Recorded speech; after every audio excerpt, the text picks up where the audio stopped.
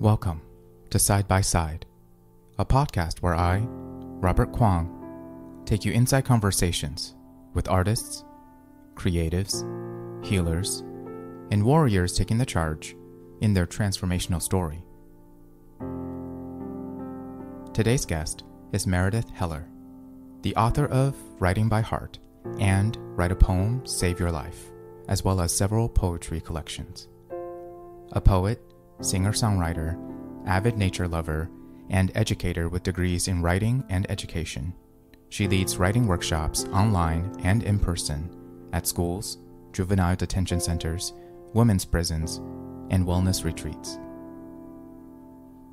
In this conversation, we dive inside the origins and highlights of writing by heart, as well as Meredith's lifelong journey with creativity and self expression as a healing force in her life. You can find more side by side episodes at sidebysidepodcast.podbean.com. And if you'd like to connect with me about my services, please visit www.robertkuanghome.com. Hi Meredith, it's so nice to connect with you when we when I found out the opportunity to connect with you about your particular new book called Writing by Heart, a poetry path to healing and self-discovery. I was so excited as a fellow writer and artist and I like to use the word healer. It's so nice to have you in this space and thank you for saying yes. Oh, thank you so much for having me. I'm so happy to be here. I know you're a creative and interested in the healing path and the conversations, the depth, the inspiration that comes out of the, these kinds of meetings of hearts and minds and lives is so fulfilling. So thanks for having me. And, you know, this book is new, it's just come out into the world. So, first, of course, congratulations. But also, have you had a chance to celebrate yet, or to com- to commemorate the release? It's such a great question. Thanks. You know, I, I did. I, it's funny. So, this book actually just came out on February 27th, which was my 60th birthday. And it wasn't planned that way. At one point, my publisher wrote and said, We need to push the book a little bit further out. Is it okay if we release it on February 27th? And I said, Considering that's my 60th birthday, it sounds perfect.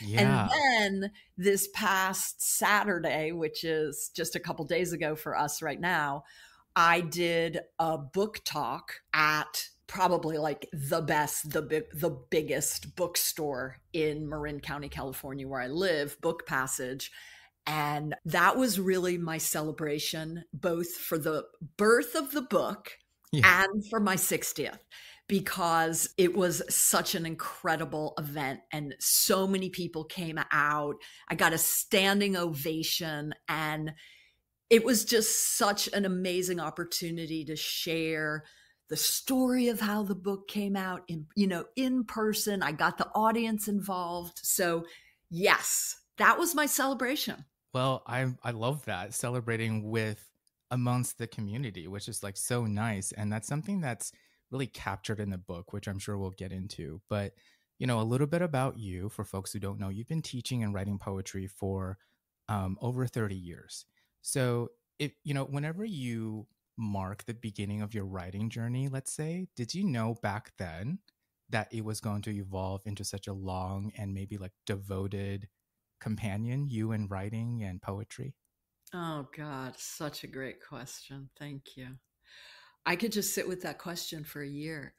That's the hour, folks. See you later. Yeah. Um, well, you know, I started writing when I was about five. I started writing oh, short stories. Wow. And um, I think it was a way of making sense of the world, of filling up things I didn't have. Like I had a whole imaginary family of brothers and sisters, and I wrote stories about them. I did have a sister, but I guess one wasn't enough.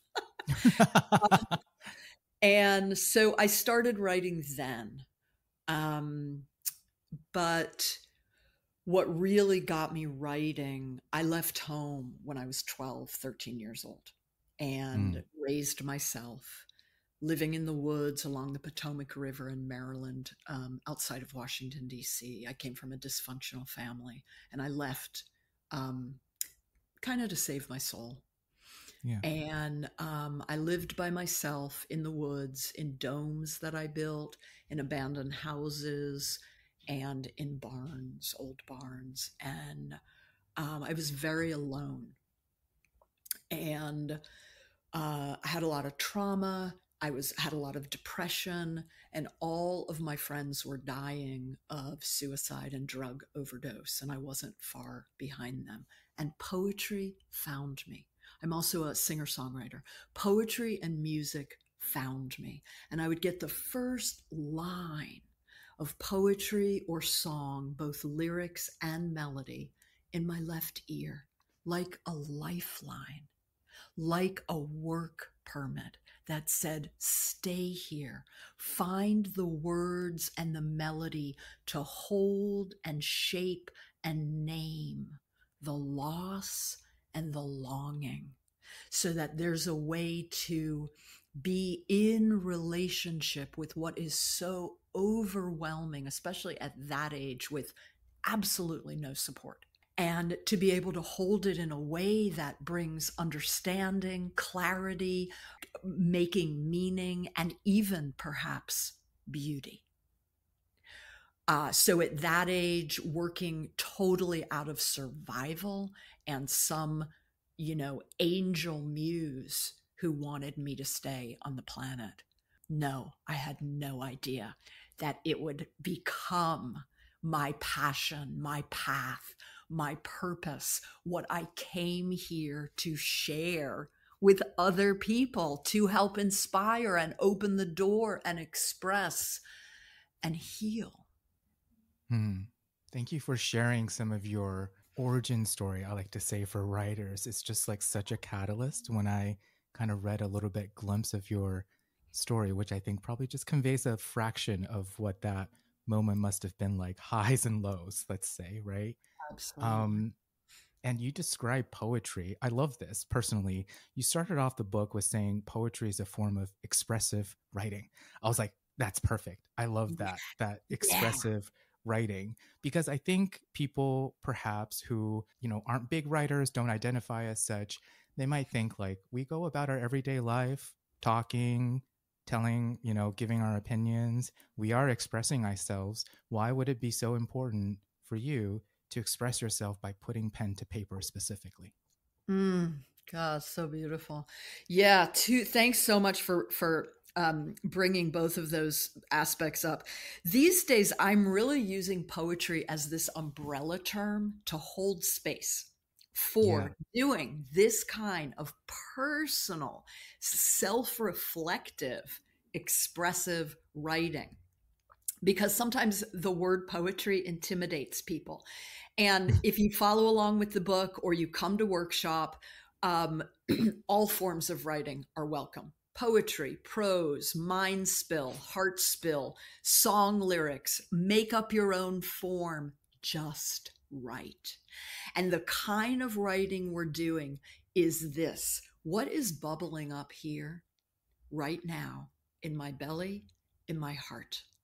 And how can I give it my attention with kindness, curiosity, courage, and then write about what I discover?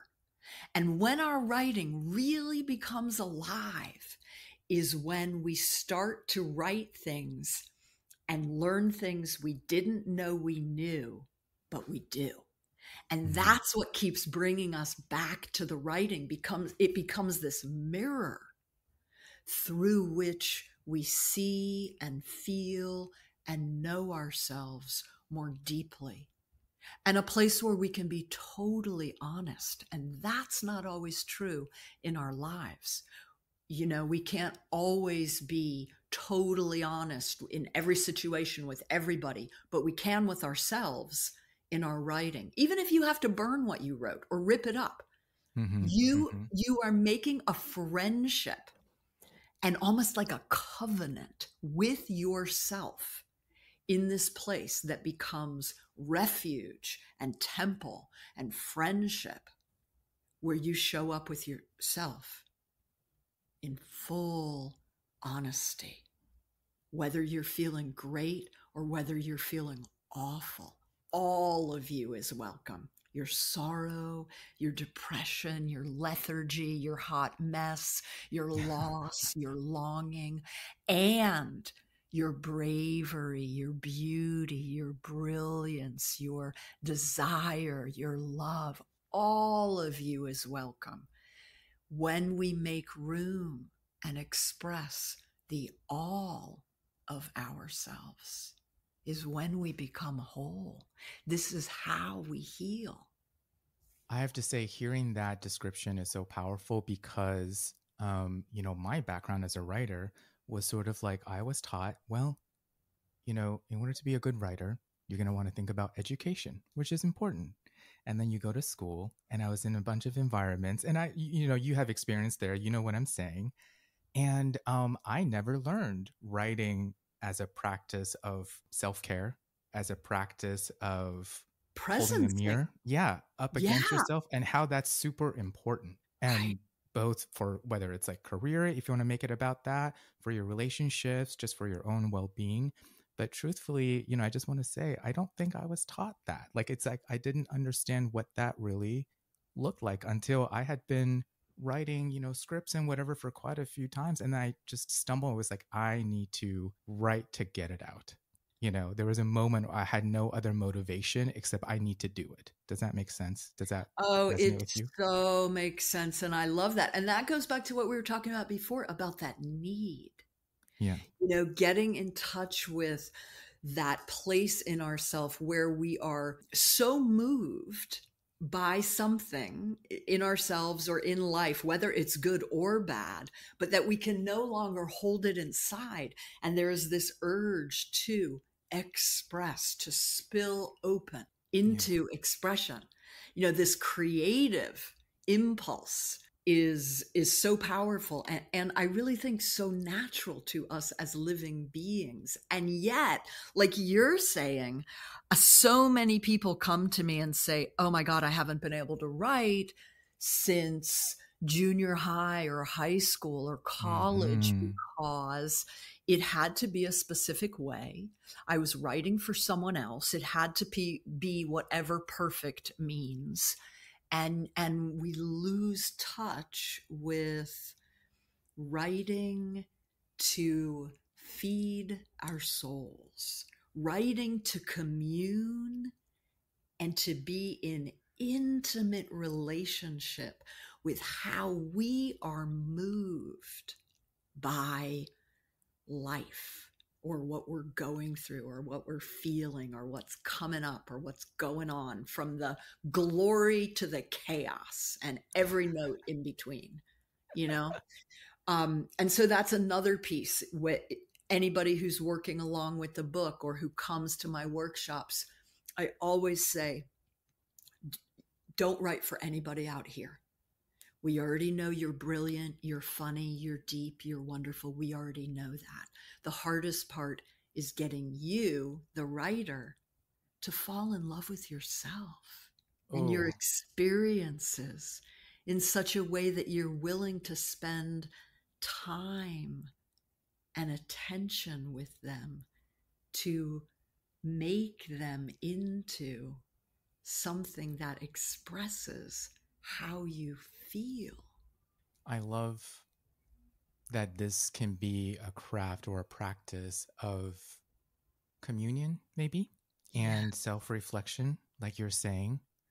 And at the same time, you can then take these little moments that maybe may or not, or may or may not have been significant in writing a poem, let's say, but you can start to act to actually connect with people, find others who also write, so I'm curious before we get into how this particular book came about.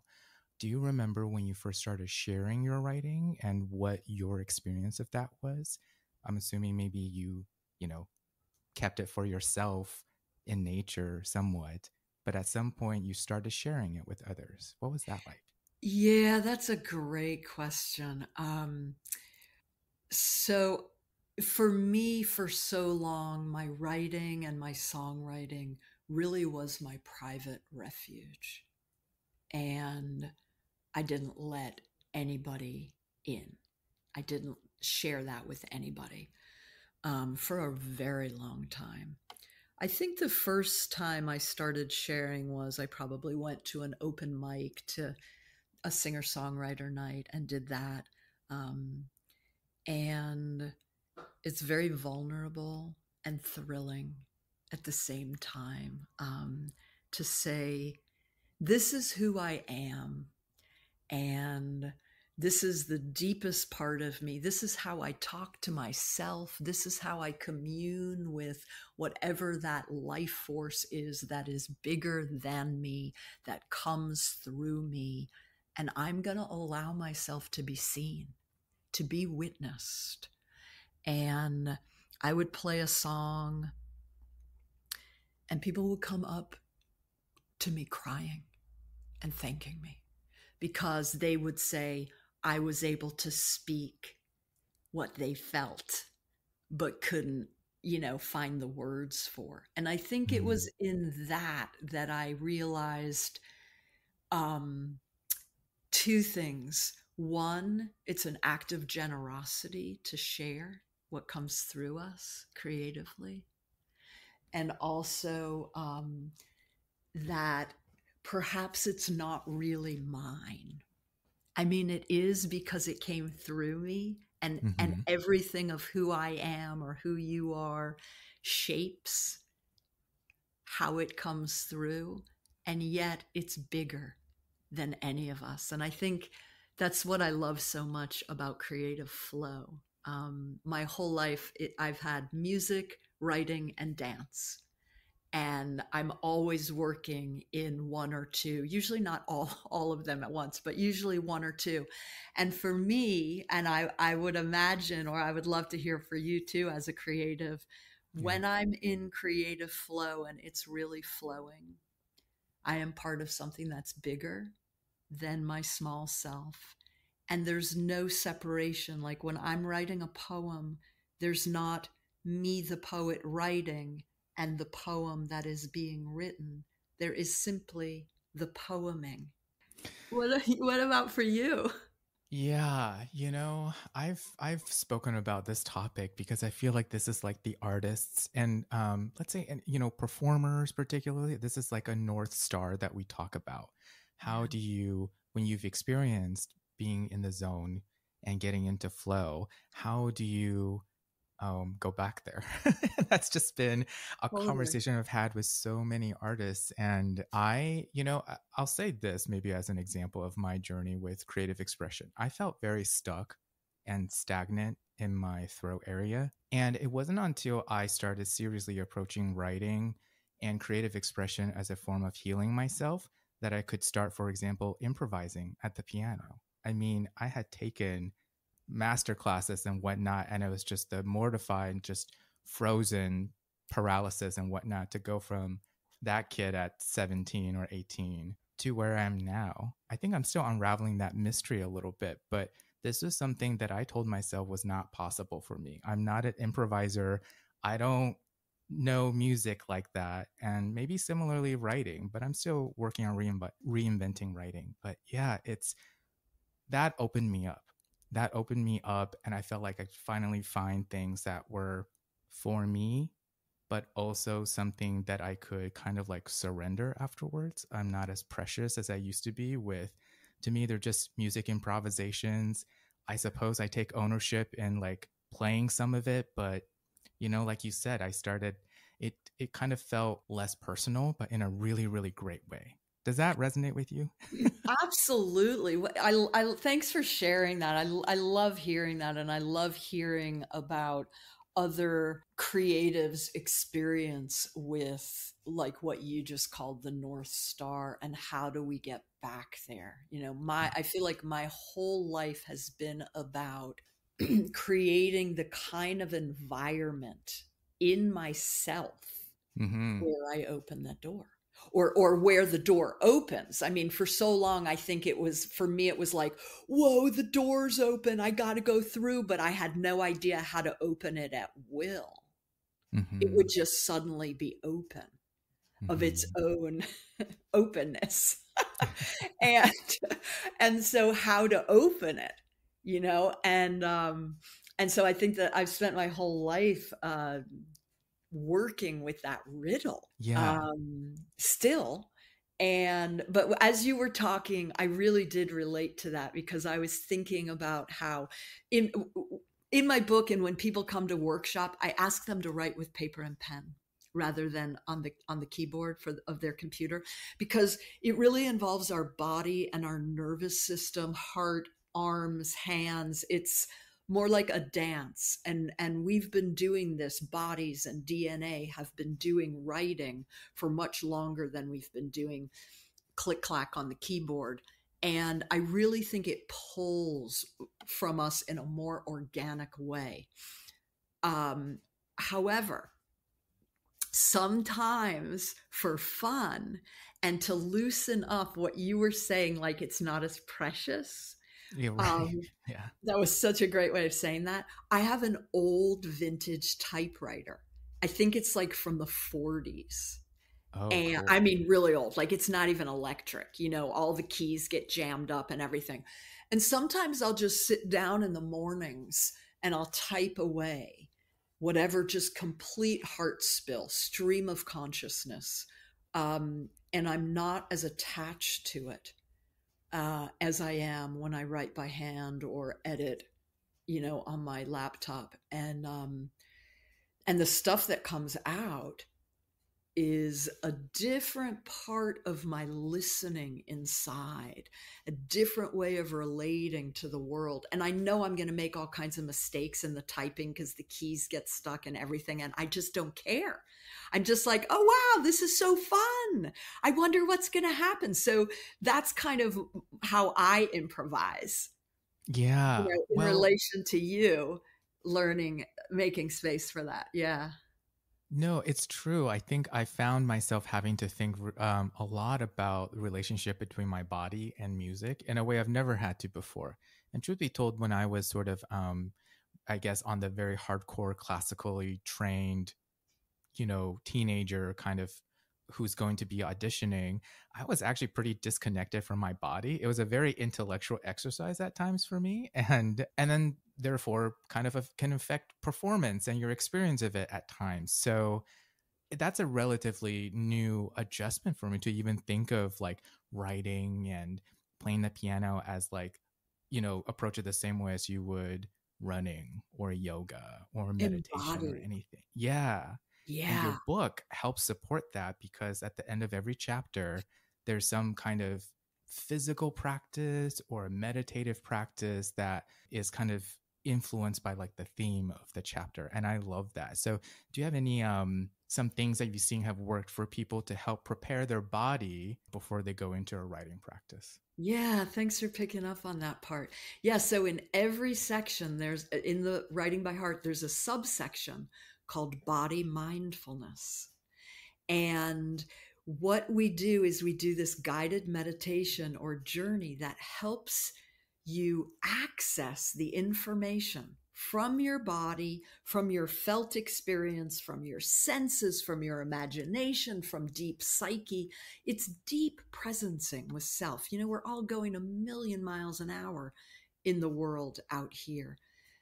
I think this turning toward ourselves and slowing down this more presencing with ourselves is really going to be um, the only thing that supports and saves our humanity with ourselves and and this whole living organism of life because the speed and the pace that's going on it's it's beyond it's not beyond. sustainable it's, it's not sustainable for for for living beings. I, I agree yeah. with that. Um, yeah. So so we we do these different practices um, presencing with a part of our body there's a huge chapter the biggest chapter in the book is called body language um, i was a body worker a massage therapist who did uh, rehab with spinal cord injury patients for 27 years that was my work my livelihood and what i learned after working with hundreds of thousands of bodies is that the body keeps and holds all the stories of our lives. And if we give it the invitation, it will teach us its language, its wisdom, the medicine it needs to heal if we listen and make an opening for it to speak to us instead of what we learn most of our lives, which is to tell our bodies what to do. What if we allow our bodies to tell us right. they need?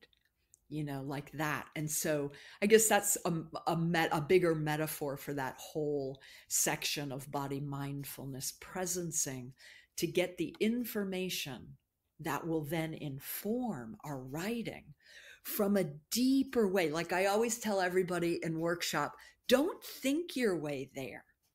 Go inside and see what arises from body, from senses, from deep psyche, from muse. It will be far more interesting and far more fulfilling and way more surprising than thinking your way there. And that's another unlearning. We have to unlearn how to think our way there and actually experience what's here and take an interest, fall in love with it take an intro. You laid out so many glorious points that I think I was like, boy, if that was simple in practice, I, I would be, I think everyone would be thrilled because these are so fundamental. And yet I think they've, they can seem really complicated in the modern world. That's why you can follow along with the book or come to workshop because we just slow it all down. It's, yeah. it's, you know, you said something before about creativity being a practice. Mm-hmm. And that's another huge piece. I opened the whole book with that. That I had this yoga teacher who always said, This is not a yoga perfect.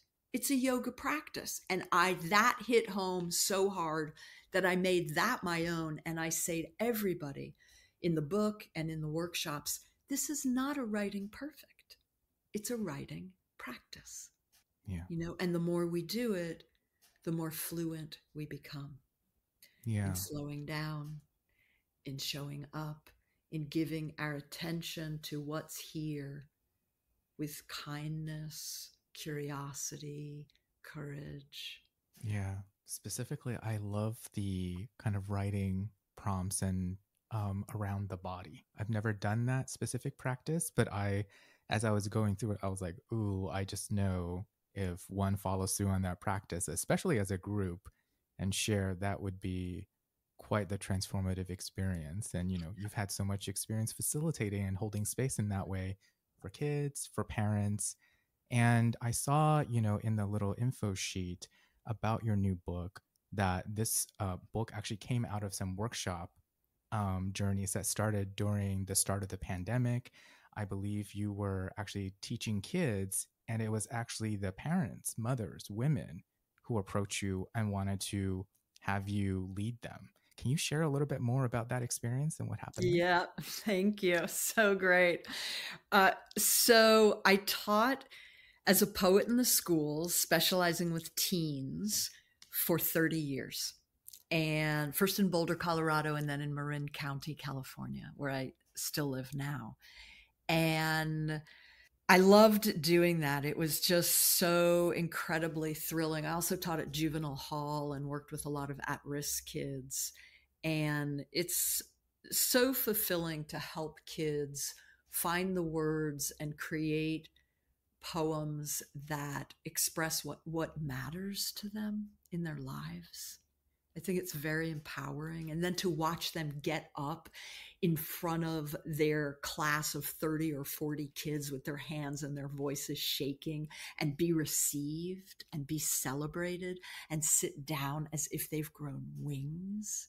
That to me was pure joy. And then the pandemic hit. And all those classes and all that aliveness got smushed into my then 13 inch laptop screen with kids, you know, 30 and 40 kids in the class, their faces no bigger than a postage stamp. And it was really hard to keep their focus. And it was hard to keep my focus. And after a few years of five, six, six classes a day with 30 and 40 kids on Zoom, I burned out. The kids became Zoom zombies.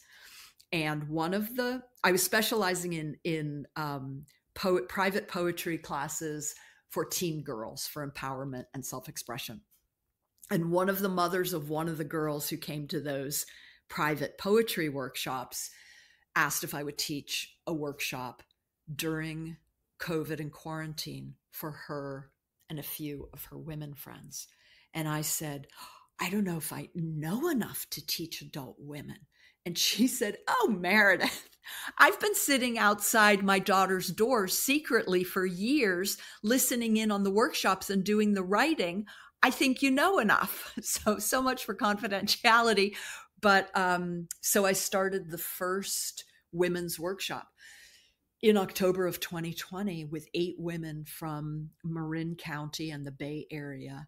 And we did elemental wisdom, where we called on the power of the elements earth, air, fire, water to revitalize our lives when we were in so much isolation and chaos and disarray during quarantine. You know, I mean, God, it just ripped us apart. Who are we? You know, right. without our communities and our normal routines and socializing. So, um, a community was born in that first workshop and and we met once a week for 5 weeks and that felt like a good rhythm and that's what we've I've continued. We meet once a week for 5 weeks throughout the entire year with 2 weeks off between each workshop to give people a breather mm. and to give me time to create the next series. And um, so after that first series of elemental wisdom those women asked for another and they came back this time with their friends from all around the country. And so this what became the beauty of zoom was that i have women from all over the country and a few women from around the world now who zoom in with us from egypt and croatia and new zealand and the netherlands and england and alaska and nova scotia and all across the united states and we meet as small groups. We went from one cohort to two. We're now at five cohorts and growing. And two really beautiful things happen in workshop that that we touched on just a little bit recently, you and I, in this conversation. Mm-hmm. Two really important things. One, when we share our work with others and we are witnessed and we hear other people's stories, there's a commonality, an awareness of commonality. As human beings, we're not all that different from each other. We have the same needs and desires and longings and fears and dreams. So we learn that we're not alone.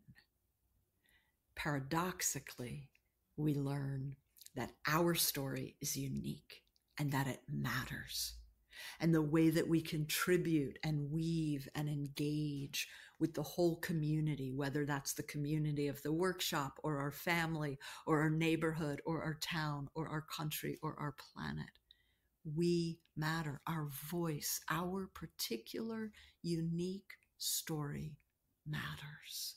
And I think that's beautifully illustrated in the book because this is something I wanted to touch on for people who are interested in the book or just gotten it and haven't started, but it's a fusion of sorts. There is kind of a beautiful kind of um, creative expression as a healing journey, as healing medicine. There is, in fact, writing and materials about craft, in my opinion, but I think distilled in a way, like you said, that slows it down and back to the basics. But I would argue there's still craft that people consider from the book. And then on top of that, there are a collection of poetry within the book as well. So those are actually generated or they were born out of these spaces, correct? These poetry are from um, women and students in these cohorts. Oh, yes, exactly. Yeah, absolutely. I love how you talk about the fusion. Thank you so much. That's such a beautiful way to frame that. Yeah, so uh, I was teaching the workshop since um, I started in October 2020. And then um, I had moved to the California desert for a year. And I found out I'm not a cactus, I'm a fern. But I stayed in the desert for a year and I it was hot and dry and lonely. And I looked at all the material from the workshops I'd been teaching. And I thought, God, these writing invitations are great. The women's poems are mind blowing, heartbreaking open, like, like change your life poems. And I thought I have to share this with the world. So, so the book came out of those workshops.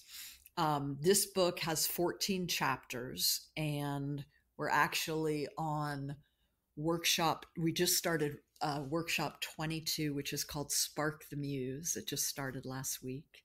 And we roll this way through the whole year, including the summer.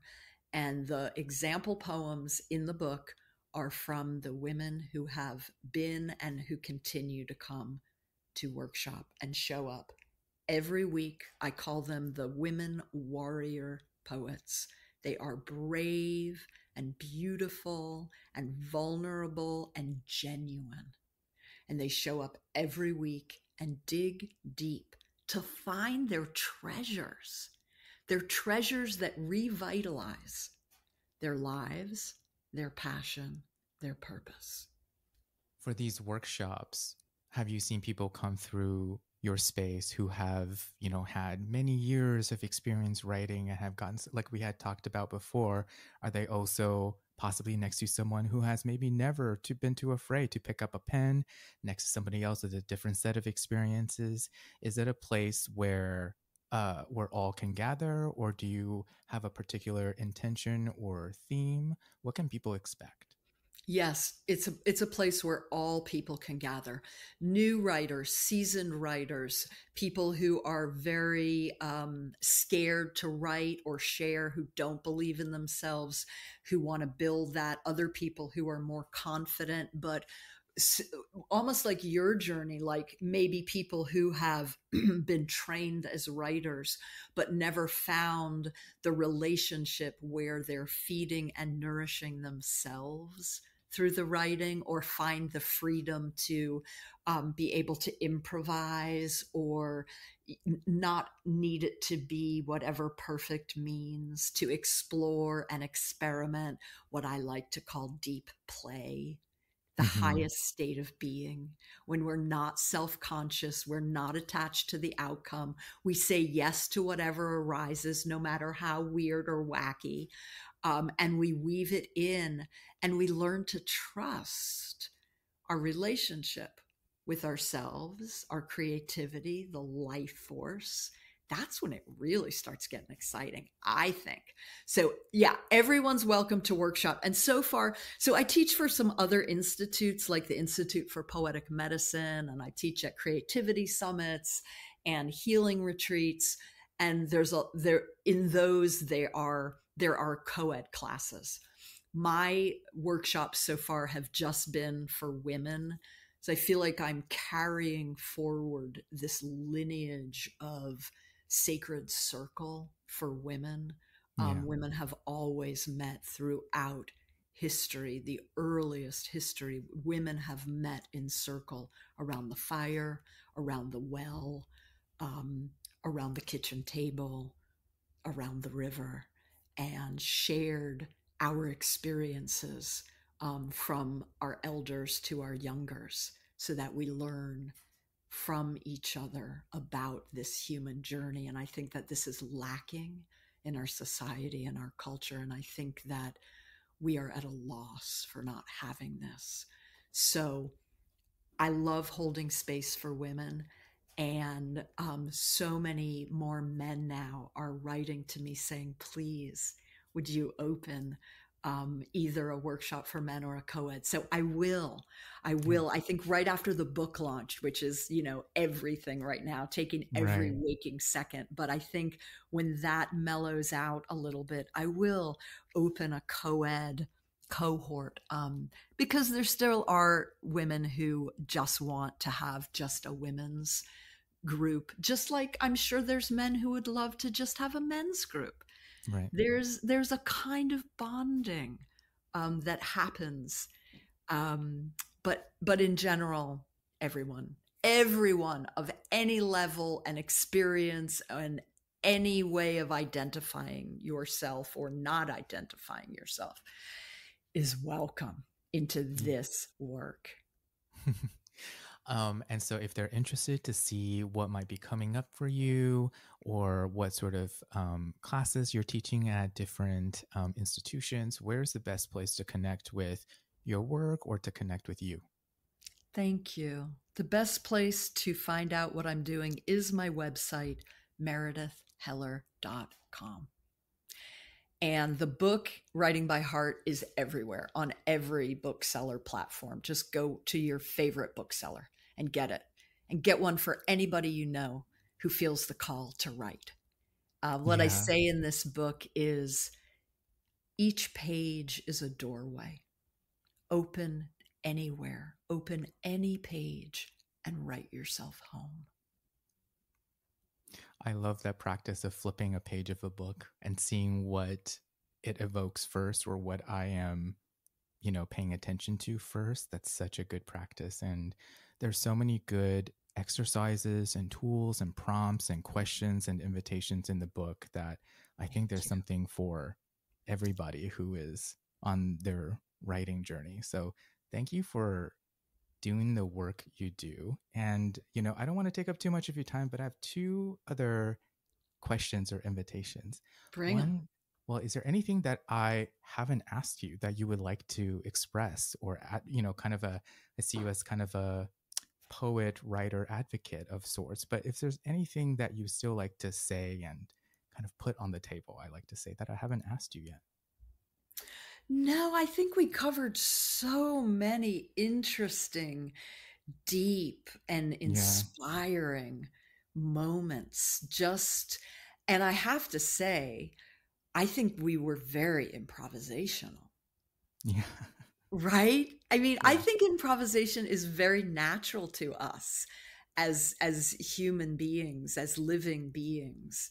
Um and I really think it's so braided with creativity. It's about getting out of the way and saying yes and trusting. And I think we really did that in our conversation. So, I mean, that's the hardest thing to talk about. And I think that we demonstrated it. Yeah, I hope so. That's the my approach for these conversations. And um, and it's just you know it's kind of like the uh, just the right connection or the right partnership it's such a wonderful experience and you know some people just love these long form conversations as do i so thank you for being like a willing playful participant in all of this and again just for having a space for writers to show up and know that they will be cared for they will be regarded and they will be seen right mm. um Yes. And the last thing. I don't know if you have your book nearby or anything of yours that you like to read as a send off.